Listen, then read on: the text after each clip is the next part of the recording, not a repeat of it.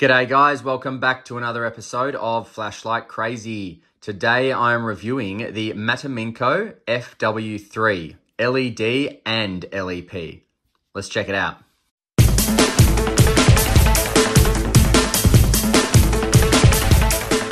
Alright, in the box you will get your Mateminco FW3 user manual.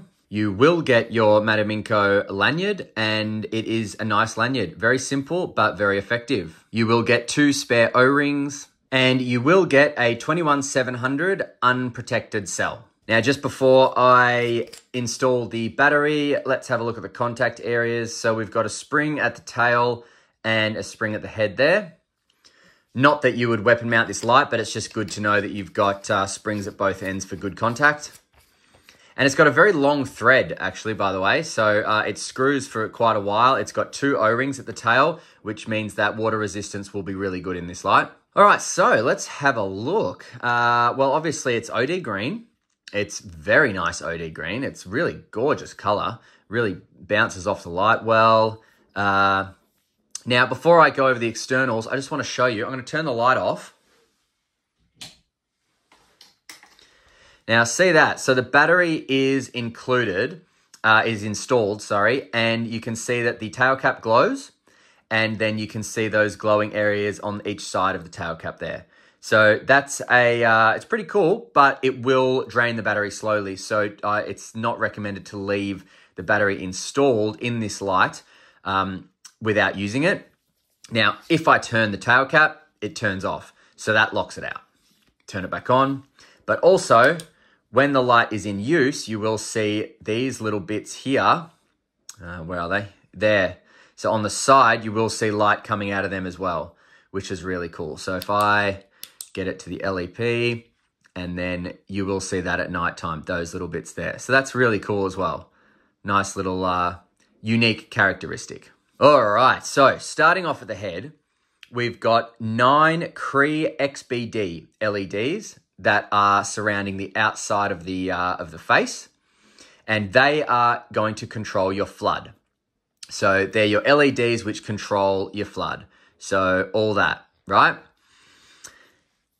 In the middle there, you've got your white laser lens, and down the bottom is where the white laser is going to come out of. Now, this is an LED slash LEP light. It's a very clever light, uh, and that's why you've got that system right there. Now, moving on to the neck, as I said, you've got these, uh, these open areas here where you'll see the light come out when it's in use.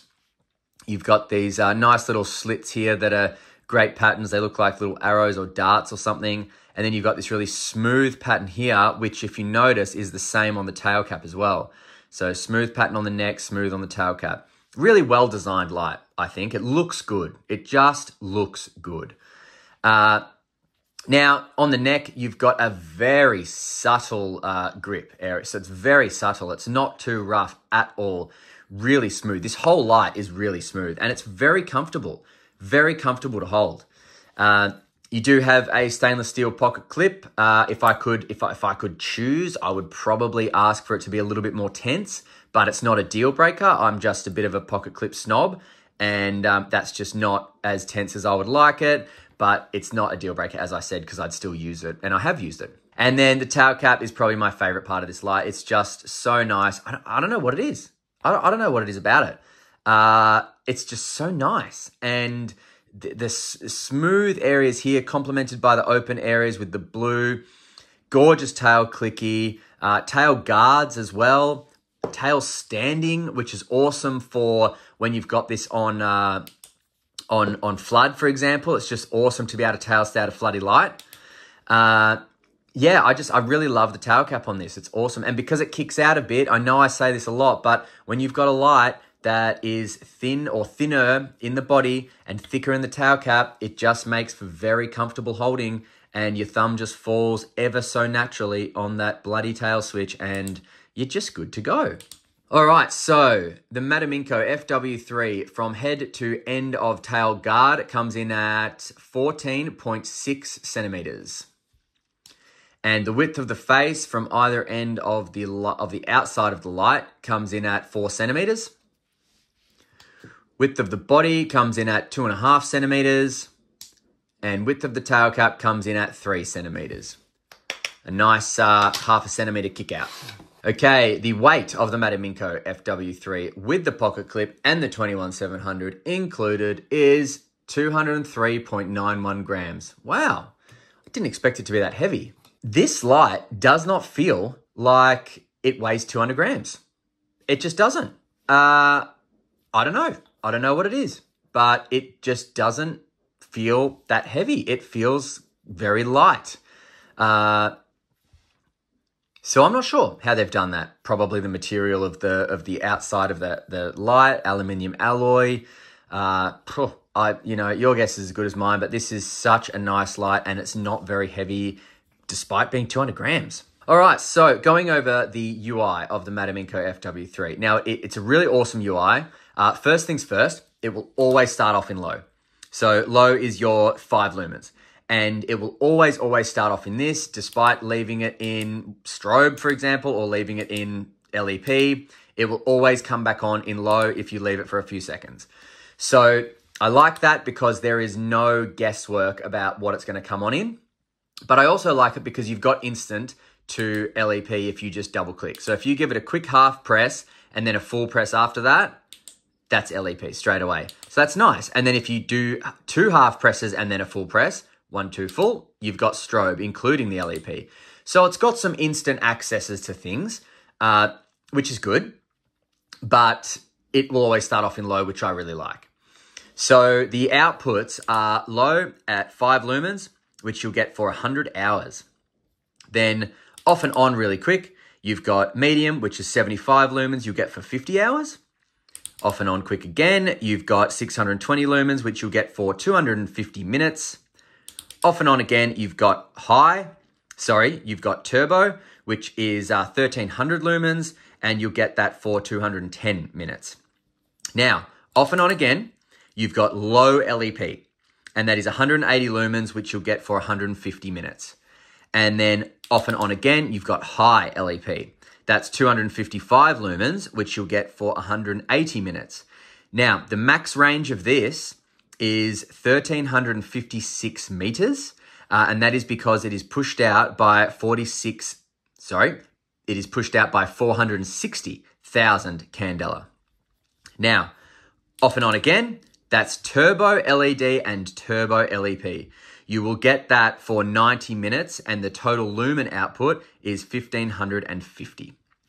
So that is uh, pretty impressive to be able to have flood plus spot you will see in the night shots that it is actually very useful to be able to have all that flood right in front of you, but still be able to find something in the distance with the LEP spot. So, really, really cool. Uh, another cool thing that I really like about this is because it is a forward clicky, you can half press until you find the mode you want and then fully click in. And that tail cap is such a pleasure to push. It really is a pleasure to push. So uh, this is a very, very nice light to use. Very, very nice. Now, if you do want to lock this light out, you just give the tail half a turn. That's it. And then turn it back. It will engage again.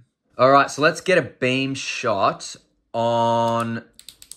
Okay, so that's the flood on turbo. And it is very floody. Very, very floody. As you'll see in the night shot, is just pure flood.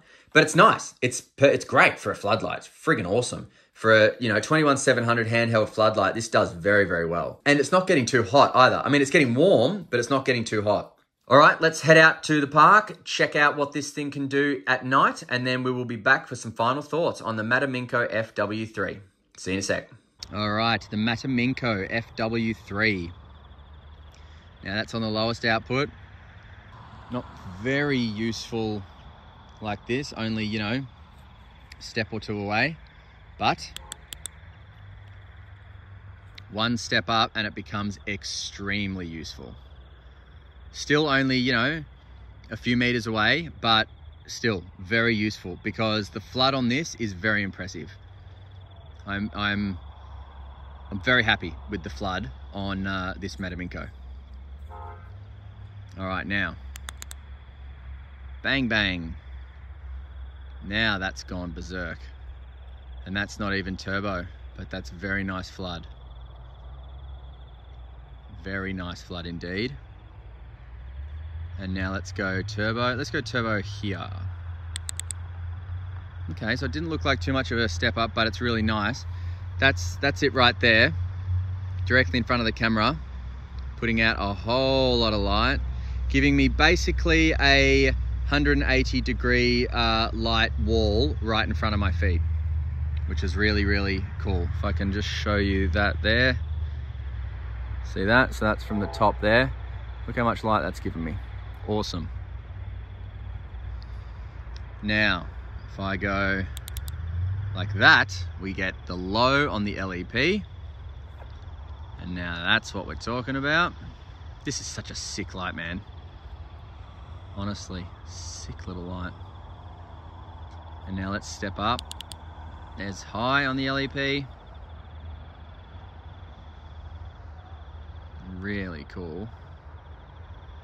And now, if you want the LEP, but you also want to see your surroundings, there you have it.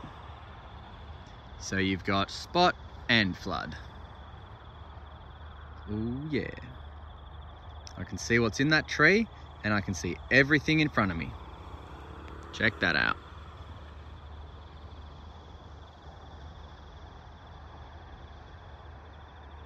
Awesome.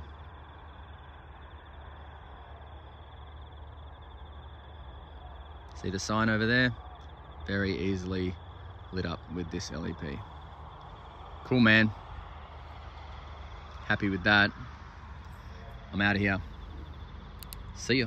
All right, so what did we think? Well, performance-wise, it does brilliantly. Uh, the flood, I'm super impressed with, but also to be able to uh, double tap into a spotlight is awesome. And then to be able to triple into a strobe is awesome as well. To be able to access your uh, flood and spot in the in the same single celled uh, 21700 light is friggin' brilliant. So very, very nice design, very nice UI in my opinion, simple yet effective. Now this light comes in at about 250 Australian dollars. Uh, you can get it less from AliExpress, and but if you want to go through an authorized dealer, then it's going to cost you about 240, 250. Uh, I always suggest authorized dealers, but the decision's yours. All right, guys, thanks so much for watching another review on Flashlight Crazy. Hope you enjoyed it. Don't forget, stay cool and stay safe. See ya.